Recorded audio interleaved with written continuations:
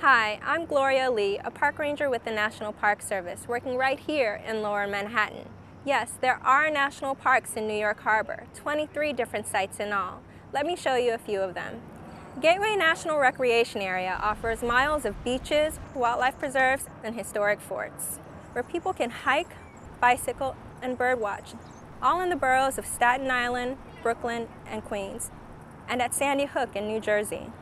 I've worked at four national park sites here in New York Harbor, Federal Hall, the Statue of Liberty, Ellis Island, and the African Burial Ground. And there are other great parks to see. You'll never get bored. All of these parks are really easy to get to by subway, car, or ferry. But for now, this series of video podcasts will let you take a closer look at the national parks of New York Harbor without leaving your home. So start clicking and check them out now. In order to understand what Hamilton Grange means, you have to understand who Hamilton was and what it meant to him. This is a man who has achieved political importance and who had created a nation and a national economic system. This man had done it all.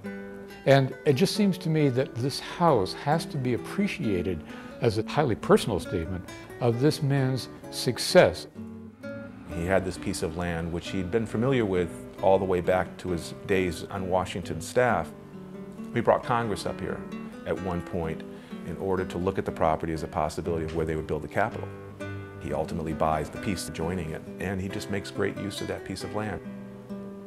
When we're doing the investigations in the building, we can actually see there's changes that are made during construction, which is indicative of somebody, most likely the owner, being involved during construction and saying, I want to do things different.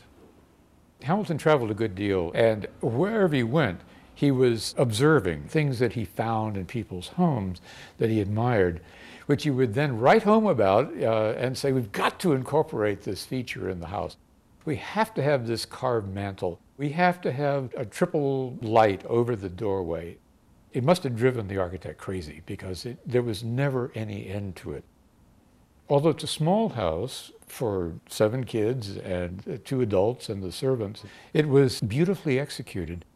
It's a very early example of what we call the federal style of architecture, but it was done in a very delicate touch.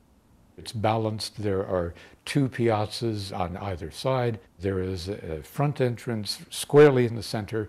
And as you enter the house, you're facing a symmetrical interior as well. And directly in front of you is a portrait bust of Alexander Hamilton. And that was there when he lived there. It's not a later addition. The building shows a certain vision, a vision of what's possible. You find something that strikes you, and then you alter that in a manner, and it strikes you that much more. I think in a lot of ways that's what he was able to do with the Constitution and with our financial system, is he saw a path by which you could achieve something.